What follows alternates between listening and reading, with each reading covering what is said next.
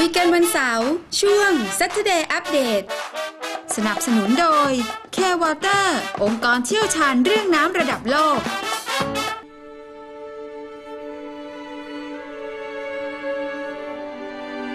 โครงการทางผันน้ำขยองอินอารา เป็นหนึ่งในหลายโครงการบริหารจัดการน้ำ เพื่อป้องกันภัยพิบัติในเกาหลีใต้ โดยมีการขุดครองระยะทางยาว 18 กิโลเมตร ให้เป็นทางผันน้ำจากแม่น้ำฮันไปยังทะเลตะวันตก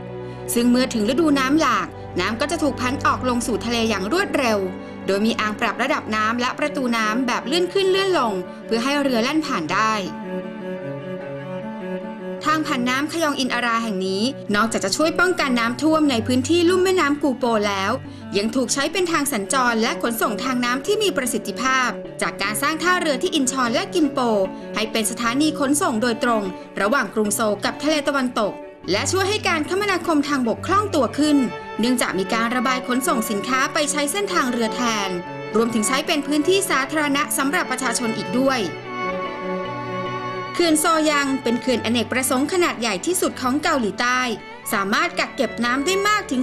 2,900 ล้านลูกบาศก์เมตร มีพื้นที่เก็บกักน้ำ 2,703 ตารางกิโลเมตร เป็นหนึ่งใน 16 เขื่อนที่บริหารจัดการโดย K-Water เพื่อควบคุมอุทกภัยและปัญหาภัยแล้ง โดยปกป้องเมืองใหญ่ที่อยู่ปลายน้ำอย่างกรุงโซลให้พ้นจากภัยน้ำท่วม และดูแลชุมชน ทั้งต้นน้ำปลายน้ำให้มีน้ำใช้สม่ำเสมอ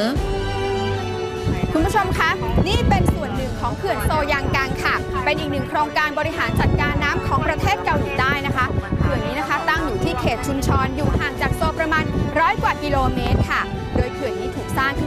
ช่วยป้องกันน้ำท่วมนะคะ จ่ายน้ำนะคะ ผลิตไฟฟ้ารวมถึงควบคุมคุณภาพน้ำอีกด้วยค่ะเขื่อนโซยังถือเป็นแหล่งพลังงานสำคัญของเกาหลีใต้ เพราะสามารถผลิตไฟฟ้าจากพลังน้ำได้ถึง 353 กิโลวัตต์ต่อชั่วโมง หรือมากกว่า 200,000 กิโลวัตต์ต่อปี เพียงพอที่จะจ่ายไฟฟ้าให้กับประชาชนกว่า 100,000 ครัวเรือนได้ตลอดทั้งปี ซึ่งกระแสไฟฟ้าที่ได้จากเขื่อนโซยัง คิดเป็นร้อยละ 60 ของการผลิตทั้งประเทศ เมื่อเทียบปริมาณแล้ว เท่ากับน้ำมันเชื้อเพลิง 210,000 บาร์เรลเลยทีเดียวค่ะ